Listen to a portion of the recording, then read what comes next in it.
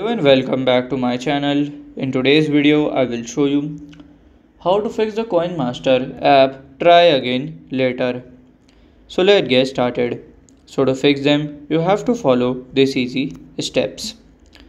So here you have to go to this app info then go to this storage clear cache then here you can open and after opening it it would be fixed so this is how to fix the coinmaster app try again later error. And if you find this video helpful make sure you like subscribe and share the video. Thank you for your watching